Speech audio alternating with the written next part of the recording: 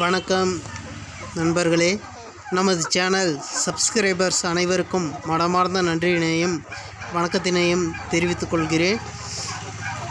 இன்றைக்கி பார்க்க போகிற இன்னொரு முக்கியமான வீடியோ என்ன அப்படின்னு சொல்லிட்டு பார்த்தீங்கன்னா பாண்டிச்சேரியிலேருந்து சார் ஒருத்தர் ஃபோன் பண்ணியிருந்தார். அவர் அங்கே காலேஜ் அந்த காலேஜ் நேமு சொன்னார். எனக்கு சரியாக ஞாபகம் இல்லை மறந்துட்டேன். அந்த காலேஜோட பிரின்ஸ்பல் அவர். கோழியில் வந்து முட்டை ஃபஸ்ட்டு நல்லா வந்தது. ஒரு ரெண்டு வாரம் மூணு வாரம் நல்லா முட்டை வச்சுது. அதுக்கப்புறமா முட்டை குறைஞ்சிடுச்சு.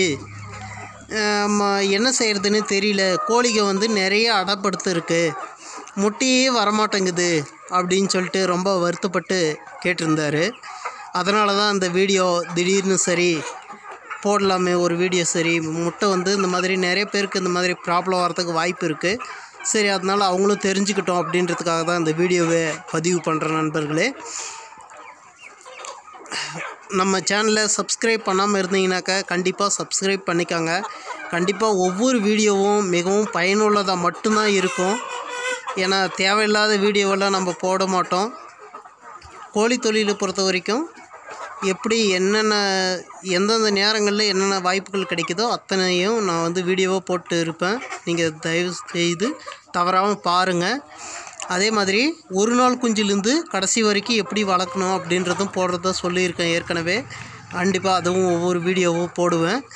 அதனால் சப்ஸ்கிரைப் செஞ்சுக்காங்க. சரி வீடியோவுக்குள்ளே போகலாம்.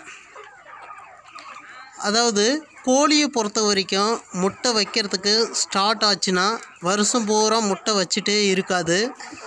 அது வந்து பார்த்தீங்கன்னாக்க ஃபஸ்ட்டு ஒரு மூணு வாரம் ஒரு பதினஞ்சு முட்டைலேருந்து இருபது முட்டை வரைக்கும் வைக்க ஆரம்பிக்கும். அதுக்கப்புறமா பார்த்தீங்கன்னாக்கா அது அடப்படுத்துக்க ஆரம்பிச்சுக்கும்.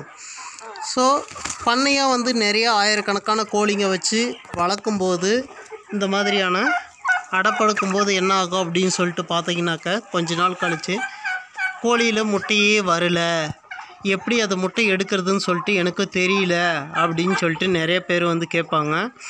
அதுக்கு என்னன்னு கேட்டிங்கன்னா நம்ம போடுறது எல்லா தீவனமும் வந்து பார்த்திங்கனாக்கா முட்டை கோழிக்கு அப்படின்னு சொல்லிட்டு சரிவிகித தீவனம் அதுக்காக தனியாக வந்து ஸ்பெஷலாக தீவனம் வருது.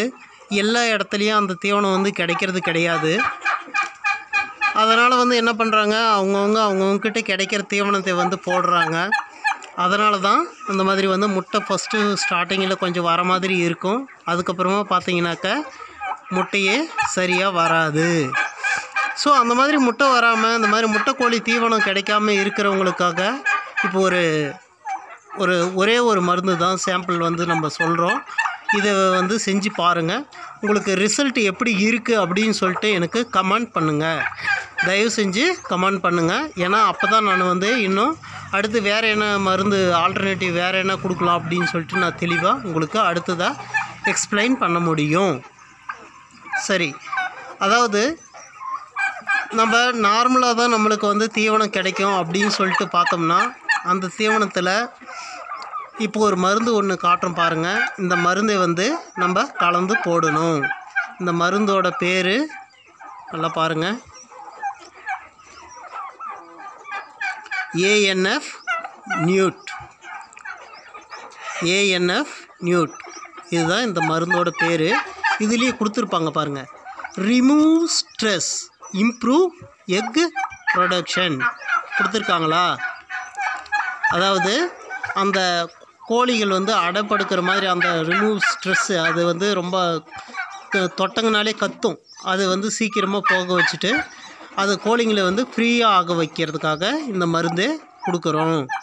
அடுத்தது வந்து கோழிங்க வந்து ஒரு சில கோழிகள் வந்து பார்த்தோன்னா இப்போ ஒரு இடத்துலேருந்து இன்னொரு இடத்துக்கு தூக்கிட்டு வந்திருப்போம்.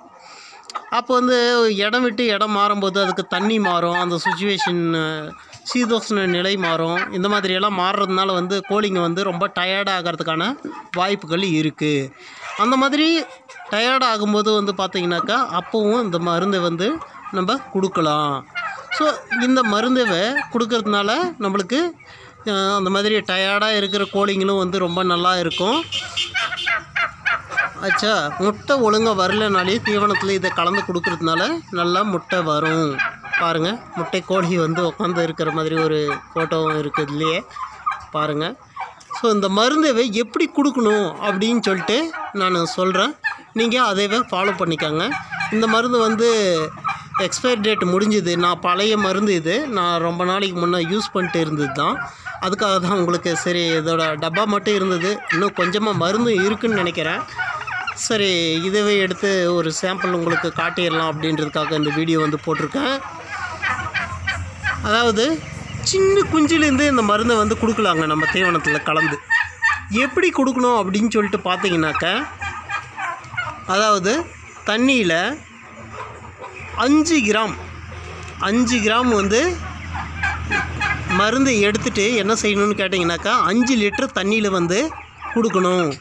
எவ்வளோ நாளைக்கு கொடுக்கணும் அப்படின்னு சொல்லிட்டு பார்த்தீங்கன்னா சின்ன குஞ்சு இருக்கும்போது ரெண்டு வாரத்துக்கு மட்டும் அந்த மாதிரி கொடுக்கணும். ரெண்டு வாரத்துக்கு மட்டும் அந்த மாதிரி அதாவது அஞ்சு கிராம் மருந்து வந்து அஞ்சு லிட்டர் தண்ணியில் அப்படின்னு கொடுக்கணும். அதாவது ஒரு லிட்டருக்கு ஒரு கிராம் அப்படின்னு சொல்லிட்டு ரெண்டு வாரம் கொடுக்கணும்.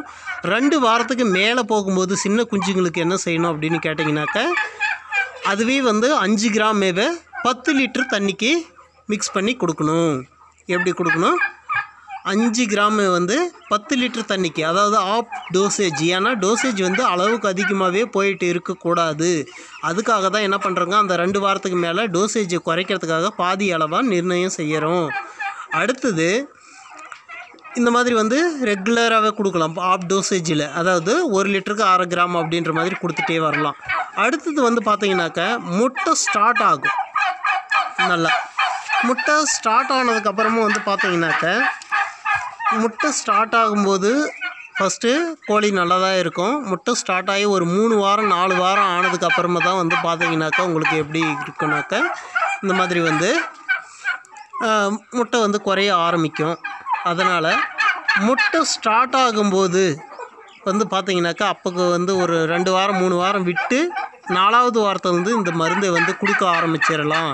இந்த மருந்தை எப்படி கொடுக்கணுன்னா அதாவது ஒரு டன்னு தீவனத்துக்கு ஒரு டன் அதாவது நூறு கிலோ தீவனத்துக்கு நூறு கிராம் அந்த மாதிரி கொடுக்கணும். எப்படி கொடுக்கணும்? ஒரு டன்னுக்கு ஒரு கேஜுக்கு ஒரு கிராம் அந்த மாதிரி கொடுக்கணும். எப்படி இதை கொடுக்கணும் அப்படின்னு பார்த்தீங்கன்னாக்கா தீவனத்தை நல்லா எடுத்து வச்சுட்டு அந்த தீவனத்தில் வந்து தண்ணியில் இதை வந்து மருந்தேவை நல்லா கலக்கி எடுத்துக்கணும்.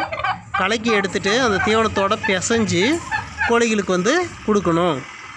அந்த மாதிரி கொடுக்கறதுனால வந்து என்ன ஆகுன்னு கேட்டிங்கனாக்க கோழியில் வந்து முட்டை வந்து அதிகமாக வர்றதுக்கு வாய்ப்புகள் அதிகம். ஸோ இந்த மாதிரி இந்த மருந்தை வந்து கொடுக்கறதுனால கோழியில் வந்து முட்டையை வந்து அதிகப்படுத்த முடியும். அடுத்தது இந்த மருந்தை வந்து எவ்வளோ நாளைக்கு கொடுக்கலாம்? எவ்வளோ வருஷ கணக்கில் எத்தனை வருஷம் கொடுத்தாலும் கோழியில் முட்டை வந்துகிட்டே இருக்குமா? அப்படின்னு சொல்லிட்டு நிறைய பேர் யோசிக்குவீங்க. அந்த மாதிரி வந்து வருஷ கணக்கெல்லாம் இந்த மருந்தை கொடுத்துட்டே இருந்தீங்கன்னா வருஷ கணக்கில் முட்டையெல்லாம் வந்துட்டேவெல்லாம் இருக்காது. ஒரு ஒன் இயர் அந்த மாதிரி தான் கோழிங்களில் வந்து எப்பயுமே முட்டையோட தன்மை வந்து கொஞ்சம் அதிகமாக இருக்கும். அதுக்கப்புறமா நீங்கள் என்ன தான் மருந்து கொடுத்தாலும் அந்த கோழியில் வந்து முட்டையோட தன்மை வந்து குறைஞ்சிடும். அதனால் சும்மா மருந்தே கொடுத்துட்டு நான் நாலு வருஷம் வச்சுருக்கேன் மூணு வருஷம் வச்சுருக்கேன் அப்படின்னு சொல்லிட்டெல்லாம் யோசிச்சிங்கனாக்கா கண்டிப்பாக அதுவும் செட் ஆகாது. அதனால் புரிஞ்சுக்காங்க. இந்த மருந்தை வந்து ஏன்னா எல்லா இடத்துலையும் முட்டை தீவனம் கிடைக்கிறது கிடையாது. முட்டைக்கோழி தீவனம் கிடைக்கிறது கிடையாது. அதனால் சாதாரண தீவனம் தான் உங்களுக்கு கிடைக்கும். இந்த மருந்து கிடைக்கிறவங்க வாங்கி வச்சுக்கோங்க.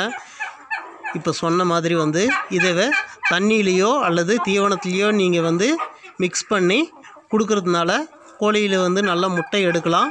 நல்ல லாபமும் சம்பாதிக்க முடியும். நன்றி நண்பர்களே. வீடியோ பிடிச்சிருந்தால் லைக் பண்ணுங்கள் உங்களுடைய நண்பர்களுக்கும் ஷேர் பண்ணுங்கள் சப்ஸ்கிரைப் செய்யாமல் இருந்தாக்க சப்ஸ்கிரைப் பண்ணுங்கள் நன்றி நன்றி நன்றி.